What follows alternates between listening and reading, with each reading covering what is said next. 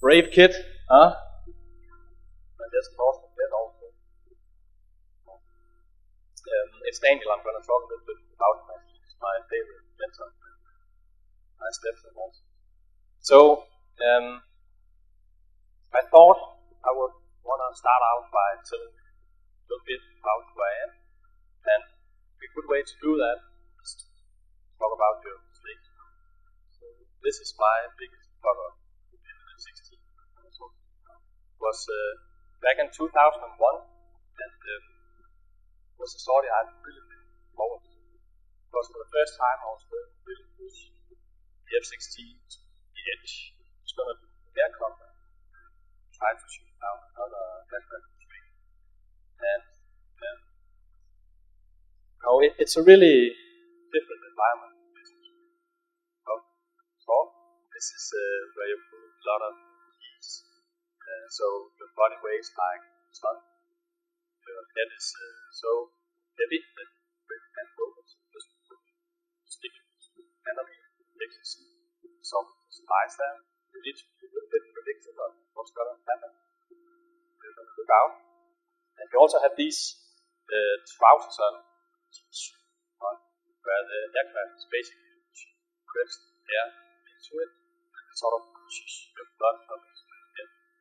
You really need that because otherwise you break your brain.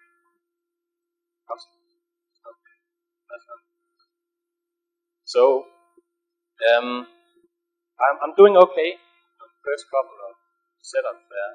Then on the last setup, uh, as soon as I put my gun cross on the target, it sort of changes the thing, spoils my So I need to reposition myself, and this happens a few times. And uh, you know, as I put my gun cross on, on him for the last time, and I'm just about to use the trigger, then I feel my instructor pull back the throttle, shout at the intercom, Tomas, I have the aircraft. And you know, sort of gently turns the aircraft me. You know, at this point, I'm pretty sure I did something awesome uh, when that happened, but uh, I really wasn't sure what was going on. So afterward, we do a registry and sort of everything that happened. And that's where I realized that, you know, I've been experiencing what we call tunnel. And I've been so focused on the problem right in front of me that I sort of didn't notice other really things. The F-16 has this uh, feminine voice called uh, Bitchy Betty. Uh, because it's usually when she is really trying to get your attention. Screaming just below the, uh, the level of sound we're getting the fast. She had been screaming, bingo, bingo. What that means is that much you need to do basically what my instructor did, put back the throttle and turn home, otherwise you're gonna run out of fuel in a couple of seconds.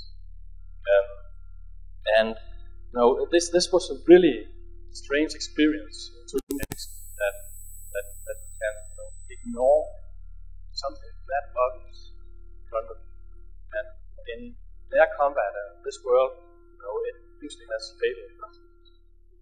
But I actually think that business do all the time, not guys, right? But at least I keep doing it.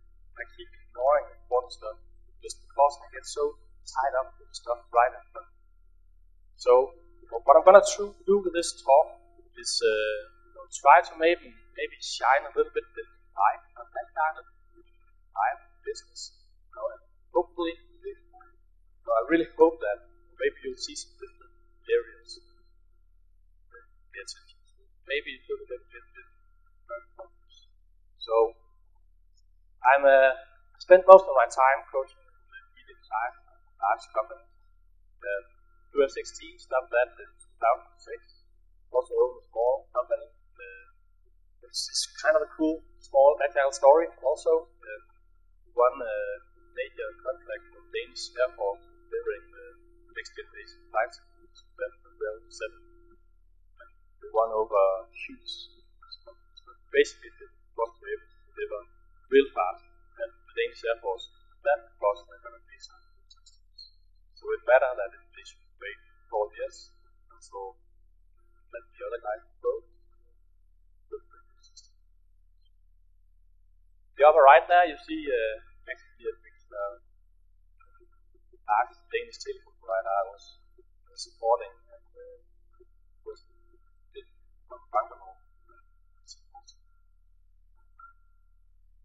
If you look at these characteristics about business problems, uncertain, dynamic environment, right roles, loops, just want to test if we are sort of the right audience. How, how many of you can recognize at least some of these challenges? Alright, that's basically most. Then, how many of you can recognize almost all of them. About half, I guess, a bit more. The interesting thing here is that this is actually not about business. I just changed by the pilot, experience by the pilot, complex situations, these characteristics. This is from research, military, about this gets even more funny so, title is Human Consequences, Judgment. People that agile how judgment. And it's actually not a different way. That's even more surprising, I. So I want to start out by actually, uh, saw the talk just prior to this, it's kind of an extension. That ended out with, you know, need to make good decisions fast. That's kind of it's also the way we think about the world as pilots. So if you want to win a complex and uh, evolving situation, we we have this mental model that needs to create decisions. And the other thing, uh, see, we're not rocket science. It's pilot right? To make good decisions, we need to also understand what's going on. But this is where it gets a bit tricky, right? Because there also is a lot of value in fast decisions. And I'm not thinking about you know, split second decisions. Not, not, not that way. It's, uh, it's more about making decisions before we have all the information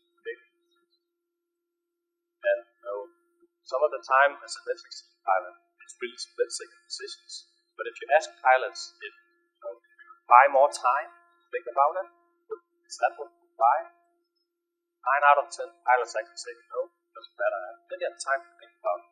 The Problem is, I don't have the information I the time I need to make it.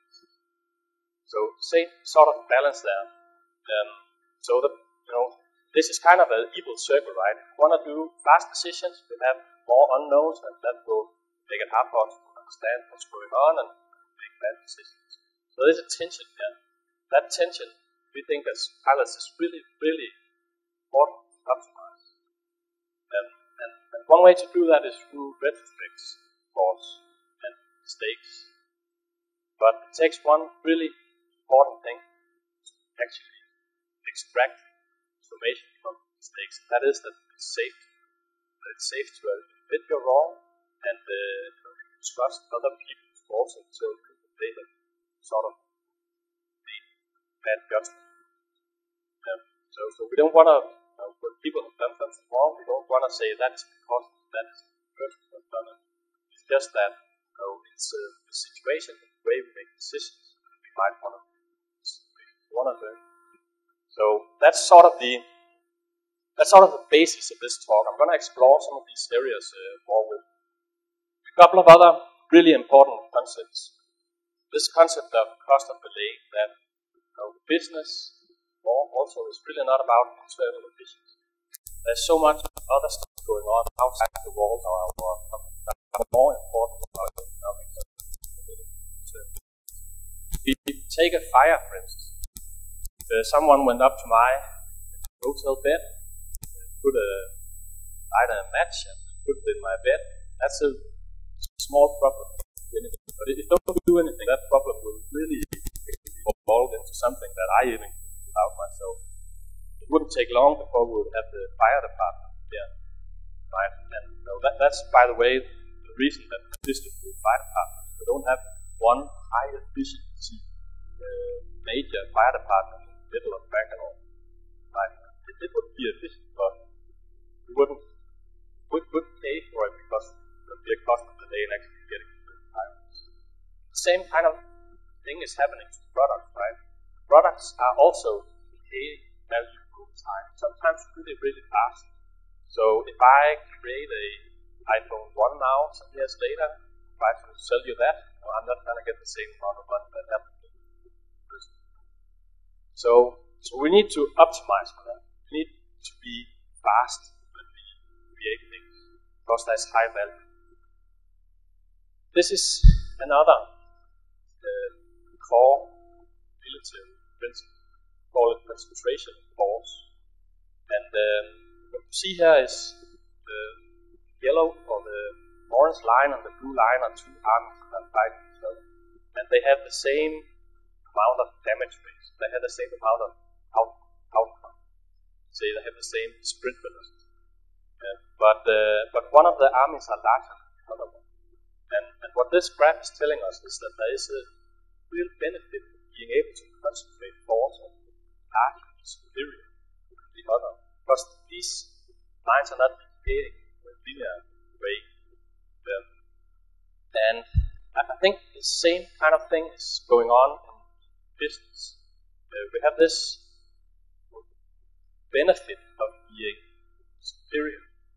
Uh, let me back up actually a little bit. If, if we we think of, of this in a little bit simpler context. Uh, you know, if, what, what it's basically telling us is that if, uh, if we're going into a fight, we pick which side we're on. There's one group where there's 10 people, and one group where there's one person. You know, we want to pick the one because that poor guy is uh, not going to come out. But what it's also saying is that that single guy is never going to win. He's not going to win 10 times. Never, never gonna win. So if you can sort of, if you had a 10 versus 10 fight, that you could pick your fights so that you were 10 against 1 this time, you always win. So that, that's the value of concentrated forces. And, and as I said, yeah, the same thing is going on. The, the, what we see in, in business is that the number one, the, the real superior product, is enjoying a lot of profit compared to so you know, if you create a product which is half good, it's one, nothing half the product fitting that. So it really, really matters to be superior to deliver something. There's a high value in a few last percents.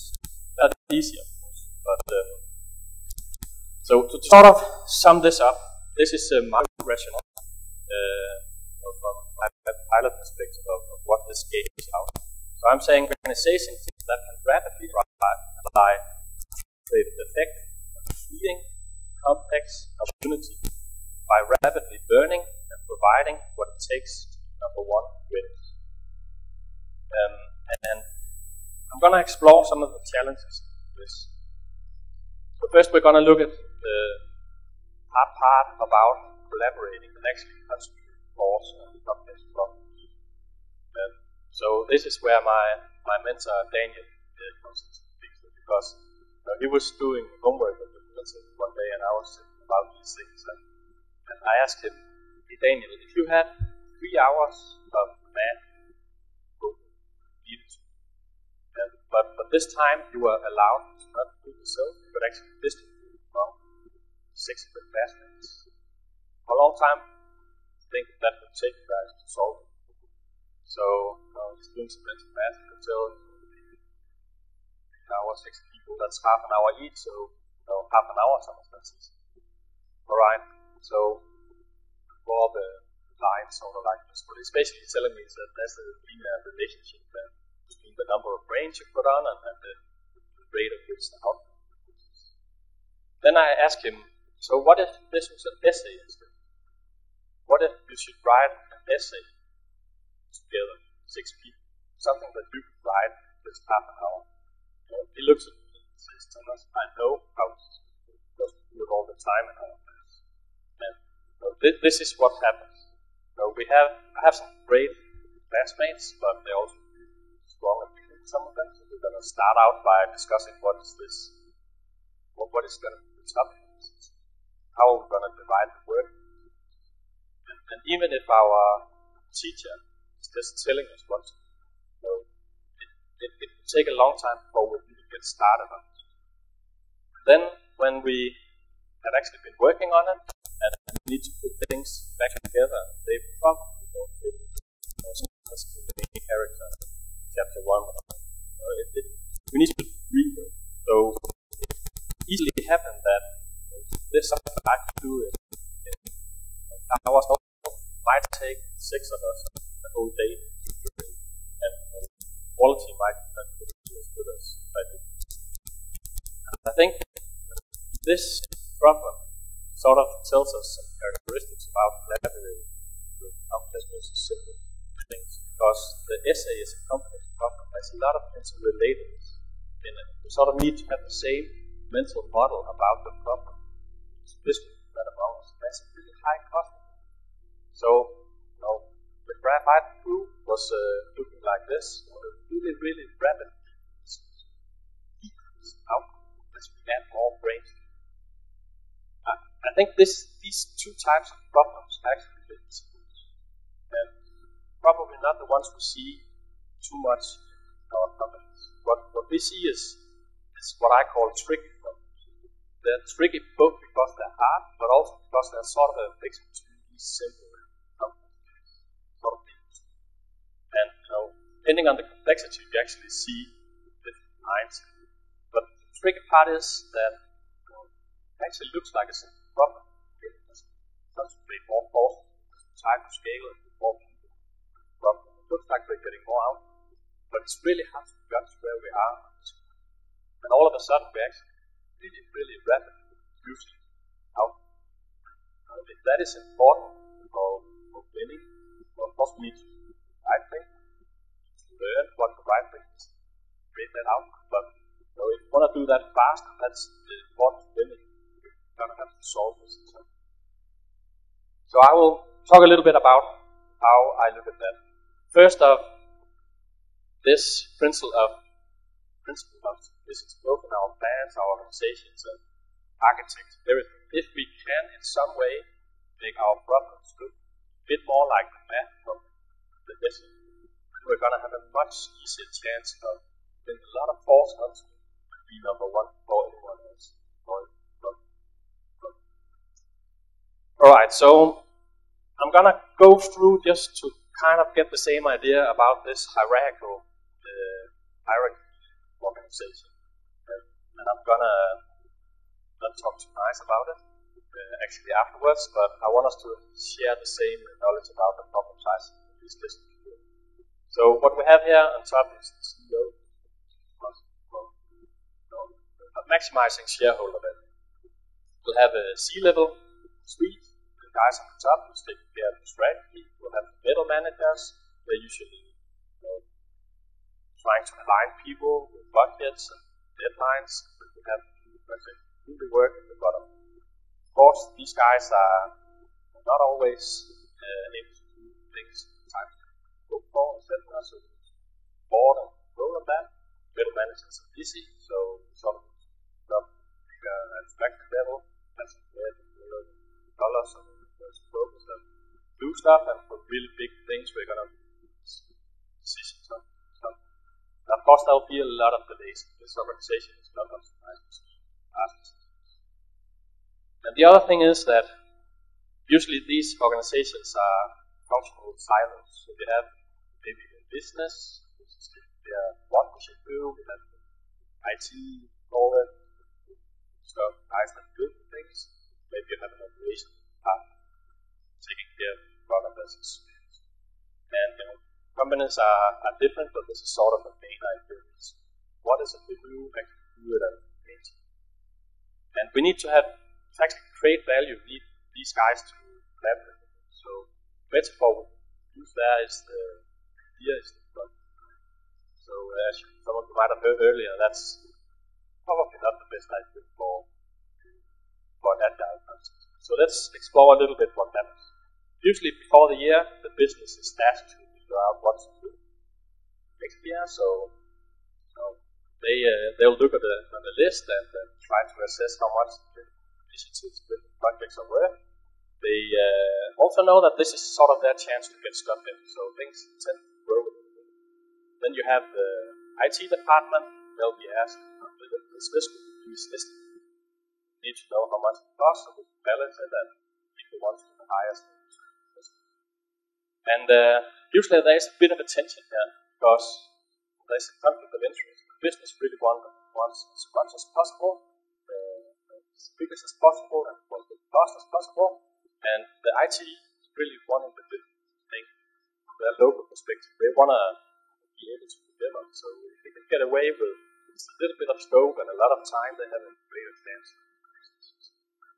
So there can be uh, some fighting going on, but at some point you know, they uh, they agree on the list, and the IT department sort of plans out the resources and makes a plan for the Of course, this will happen, right? The business will against their view of what the perfect list is. We need to adjust for that. Can be done. It's not easy. There'll be struggles with the thing. Maybe we need to take people off of a project and put on a new thing on that project. Or it's just practical sometimes we use resources. But no, we're no better than IT. Sometimes we have stated wrong or we have now a different picture of the size of this thing. So know, we need to deal with that also. And, and you know, usually this is a place where the managers come in and look at this as a problem. And one way to fix the problem is obviously the first thing would be to figure out causal problem, right? So maybe it's because we have a bad. Maybe this team is poorly. Uh, even better if we can know, distribute the blame on the other department and say, hey, it's this business guy. Right? So we have a If we take agile, Scrum, Kanban, whatever, put that below an organization, it's not gonna work out You're gonna have a problem lack of engagement. These guys at the bottom will sort of know that it's really matter what we do here. It's all decided. We're just implementing things. Also, if you see a really good opportunity, they almost give up because know that there's not going to be a love celebration when they show a new opportunity. It's really to be changes. Going to screw up a whole resource. That's not how and also, you know, there's no point in that that we are building system and you know, as we know, it, it's really, really So we're breaking up whole. Uh, so, how many of you have at some point in your career been in a situation where you recognize some of these problems? Yeah, that's most. Then see who's brave. How many of you are current?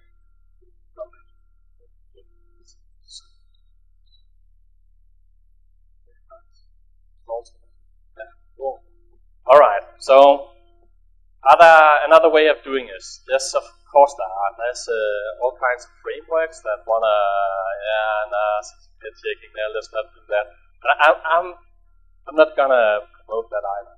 Um, I'm gonna suggest a few things that I think these things, all these frameworks actually contribute, which is of uh, quite high value, my assumption. So, one is that full autonomy. I'm gonna elaborate a bit on what I mean by autonomy. Full autonomy of teams just doing what they want is probably not possible. You need to have some kind of other abstraction where you're thinking about how the teams collaborate between so that they can you know, optimize on their global. And you know, the, the different frameworks are suggesting mechanisms for that. Just to represent it there with these three guys at the bottom. But it could be another mechanism like code that takes care of what we should do or how we should do it or make sure that we optimize our work there. But just for simplicity, this talk is going to. Um, and you one one thing that we need to get rid of is that conflict, right? So what we want to do instead is have this group of people be organized around the product, and that means that we have all the people there from the silos before, business, IT, operation, everything which is needed to provide this product to the customers. And that means if we have more products or services in our company, we're going to have more containers, more uh, tribes, Spotify we call our company. The other thing is that when we do funding, we're not gonna fund projects these tribes or these groups, these products. And that is really cool because we're getting rid of a lot of the challenges that I showed you. To do this, we can just say, uh, we built an iPhone last year, gonna build a better one this year. So let's the people know how to do that. And figure out later when uh, it, when we have more information what actually is that customers like and will feasible to do. All right. So I'm gonna talk now about how they're actually collaborating in uh, this group and, uh, and put on some some ideas from uh, my military how we do this. Um, I'm, you know, I, I see that these worlds are actually quite similar. Uh, and I'm not the only one. Some of you might know this guy, Donald Reinertsen, who uh, did this book about product development. Cool book, and his, his last chapter is about decentralized organizations. And, and talks about actually how the US do. And um, this guy is the guy, fighter pilot, is the guy who inspired the US Marines on how to structure their organizations to be able to provide it. If you look at the US Marines structure, it's kind of, actually broke down agile mindset. It's available in this US Marine country. You know, the, the guy who inspired them for that is, is Boyd. How, how many of you have heard of the young boy? Have you heard of the OODA? This is this is actually sort of a core idea that guy when uh, Jeff Sutherland was teaching Bronson's first product was talking about this thing. And uh, you know, John Boyd refused to do a presentation about the OODA. Uh, he did not get six hours. We're gonna present it in like 30 seconds here, so we're gonna leave a lot of stuff out. Okay? Um, but um, the, what occurred to, to Boyd when he was in the Korean War uh, was it was actually a bit strange that the U.S. aircraft down 10 19 times on one of their down. The weird thing about that is that the MiG-19 was actually better than that performance of all, all the measure, like speed, fly, rated pitch, turn, rate, fly. So it was kind of strange that that happened, especially also because he did a lot of the math behind it.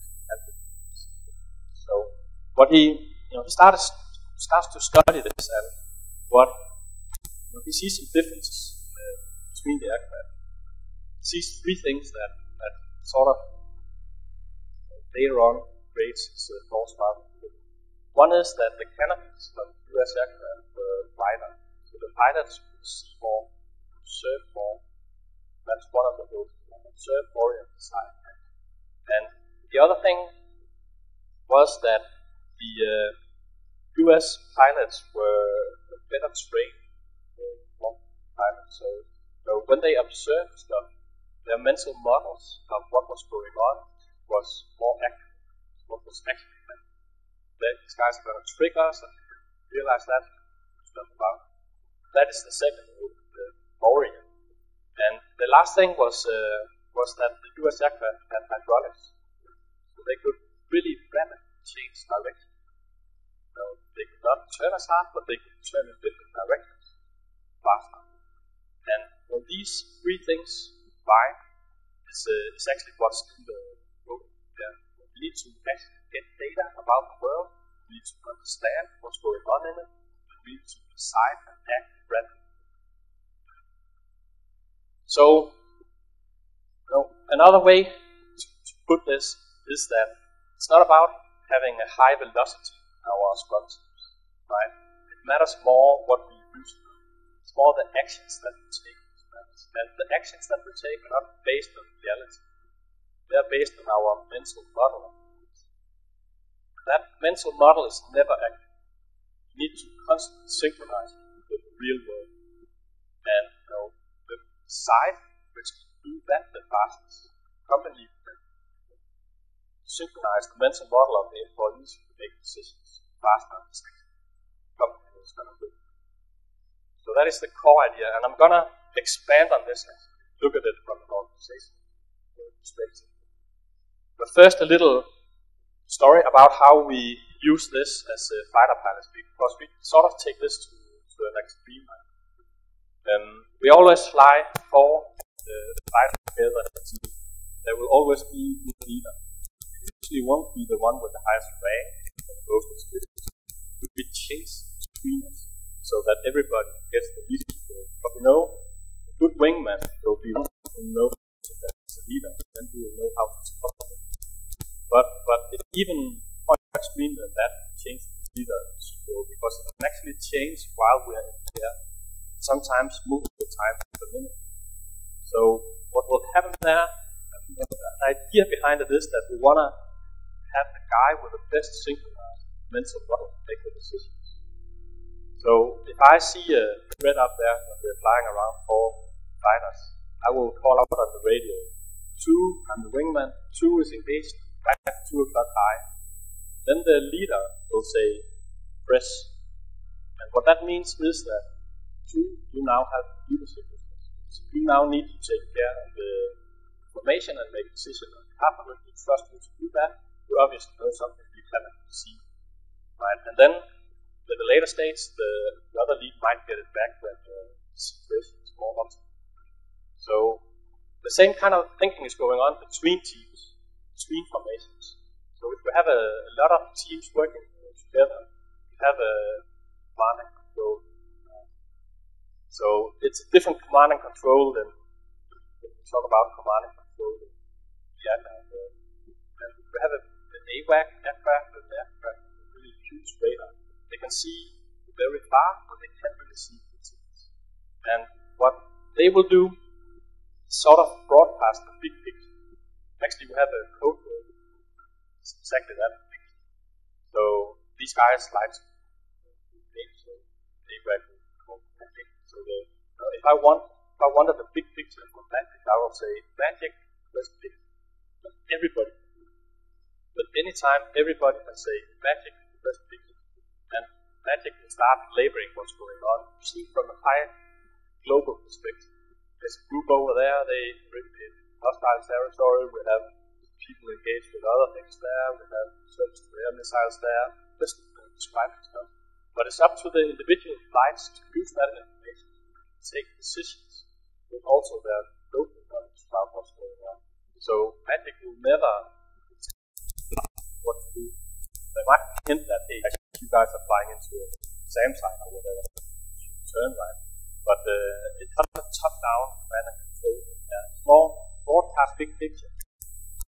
We're going to place the authority it basically actually So that's the real life of, uh, of how it works, at least in this uh, context. So we'll explore this term a little bit, situational awareness. And this is from research uh, I showed you at the beginning. So their definition of this term is continuous extraction of information about a system or environment, the integration with previous knowledge to form a coherent mental picture, and use of that picture erecting further perception, anticipation, and responding to future events. So I think this is just a really complicated way of saying, you know, synchronize your mental model with the real world.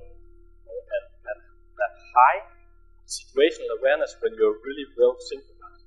And those situational awareness when as So this is the topic that we talk a lot about in our retrospect. How well was our picture of what was going on so far? Um, and, and I actually find the same exact things going on in our companies. That we have different mental models, different places of organization, what is going on they are not always um, But sometimes we're talking about it, but sometimes we're not talking enough about it. So here are some ideas about pilots are military general talking about this.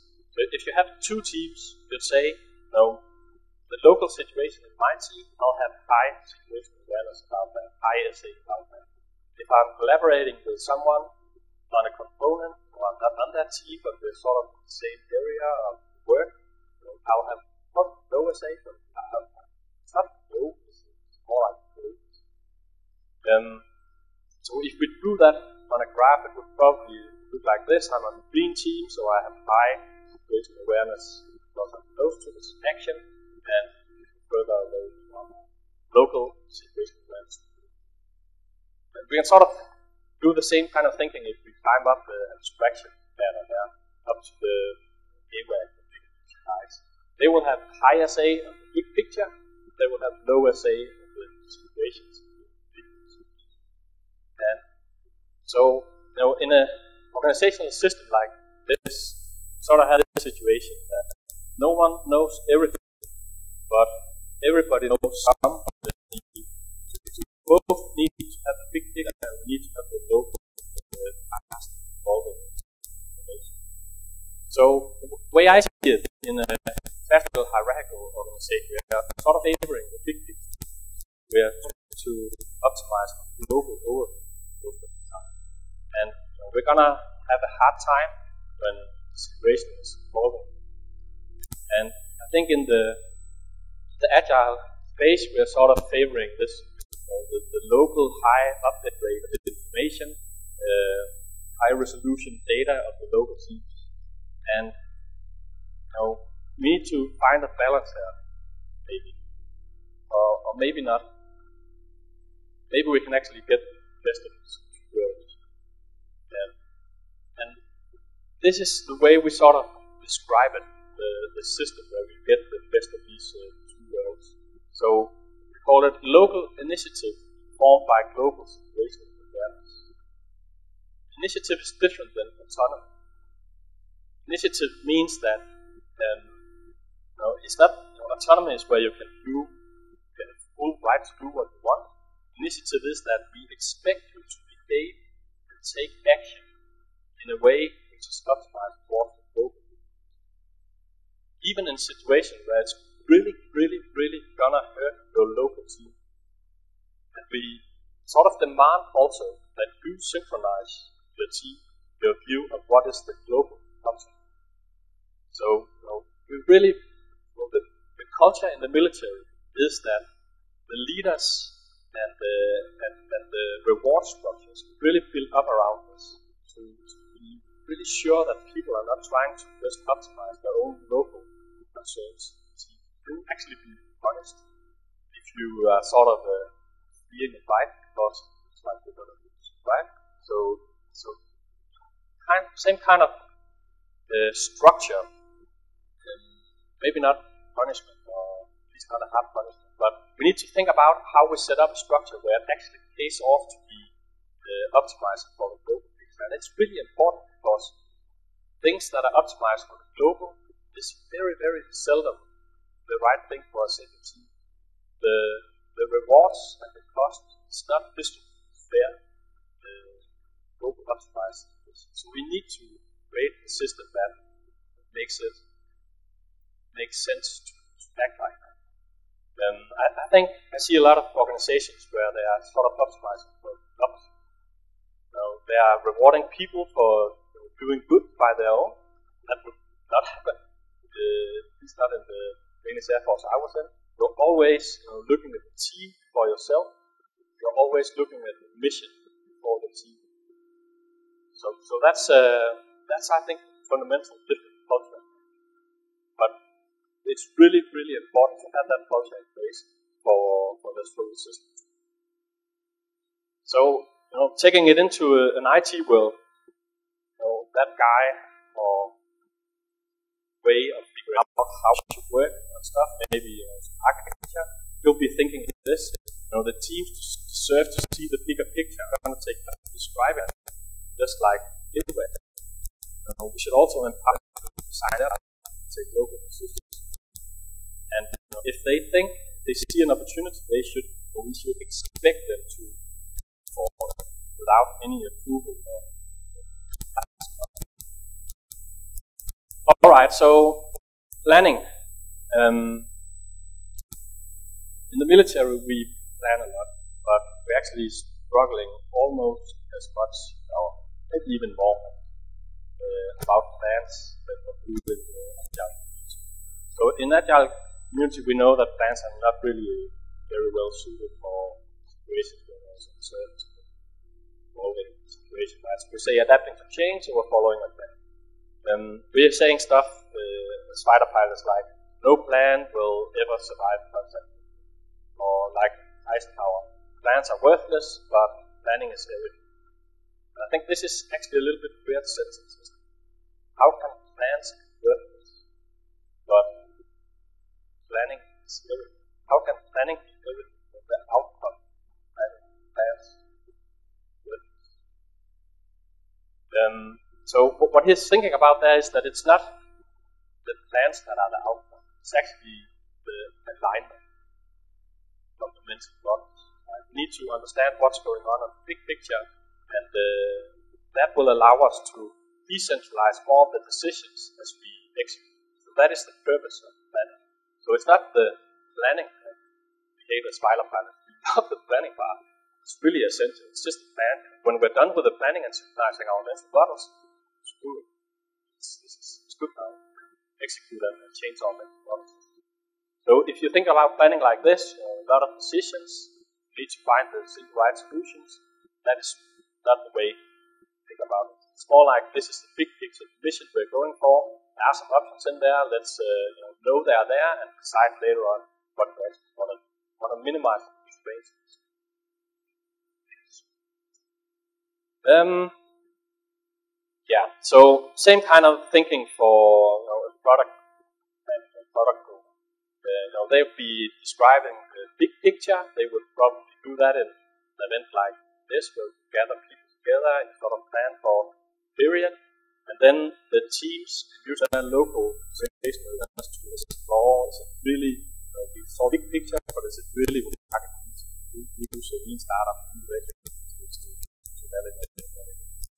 and so the last story we finish off here is uh, is a story about a combat I flew in Afghanistan.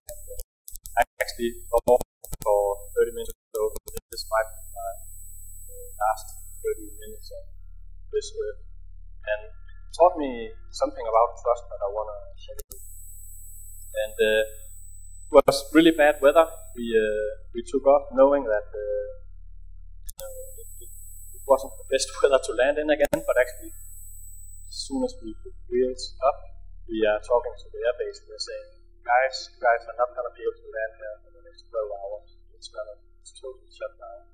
Fortunately, we have other alternates uh, always when we fly that's requirements, so we have other options. But as soon as we talk to them, they are saying the same thing to us. No way you're going to land there. And uh, we have another option, which is these tankers that are hanging around. They have a lot of fuel, so we uh, we can survive for these hours uh, by just uh, getting some fuel. We have a, a scheduled tanker. But what happens is that as we approach the, the tanker area, there's a lot of clouds, really heavy clouds like thunderstorms, and it's not allowed to take fuel. And it's uh, you know, it, there's no police up there, right? So yes, but it's any of you have been in an aircraft in a thunderstorm, you're gonna jump around that, right? And you, as you can see there, they're quite close to each other, so there's a really big chance that they will hit each other. Right? So we, we talk a little bit about it, my, in my wingman, and so we decide the other, only other option we is to take. That's exactly something we're gonna slide, and really high to up and up and build up, and doing some lower fast. So I hit uh, a really this place there with a.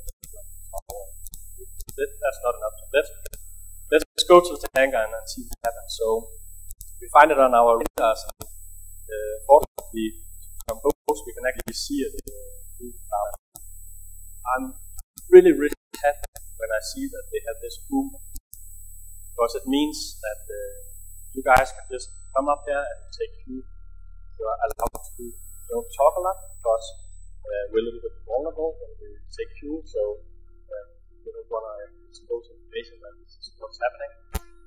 And um, you we for the next 30 minutes we take fuel turns and actually the fuel gauges are running the wrong way, but these uh, guys finding a suitable area we can uh, stay in and actually get our fuel and everything. Uh, we land again. But I think what's interesting here is that I felt I was sort of changed after this uh, experience. I, I took more risks when other soldiers were down there. And I think the strange thing about it is that these guys, I, I did not, I did not talk to them, did not read with them, anything. I didn't even see them, but somehow I was changed anyway, right? So to me, trust, you know, is not about any of these things. If you wanna have trust, it's more about being able to predict that other people actually take care of you when, uh, when you need it. Also, even if they know, these guys knew that they were also risking their life. But they, they didn't ask the question, "How much you really need fuel. They just said, I'm gonna trust that if you are gonna go up here and risk my life, it's uh, probably what you need to And the same thing happened for, for a lot of the other pilots because they had experiences with this. I think we can create environments like this where we, know, it's, it's through shared experience. So if we plan together and we execute together, we have quick feedback where we actually show that you know, we are gonna be trust, trustworthy and dependent also when it's not for my own, my own so, you know, that's the kind of thinking I think the team should have. You know, I feel like I'm part of a bigger thing, and uh, I love doing what I do, and I want to make it. Gonna skip that one for time, I think. Um, I just want to wrap up with uh, sort of my uh, ideas how to collaborate. So, a lot of stuff there. Uh, just the headlines is that uh, organize for rapid feedback loops, organizing for synchronizing your mental models, make sure there's flexibility in execution, and mission, growth initiative.